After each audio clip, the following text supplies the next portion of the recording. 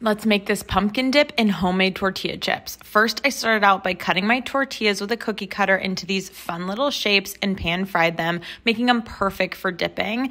Then I prepped my pumpkin. I just scooped out the inside, making sure it was all really clean, and then lined it with some saran wrap. Then I went ahead and filled it with a queso dip so it would be orange, and that's literally it. It was so easy and so good.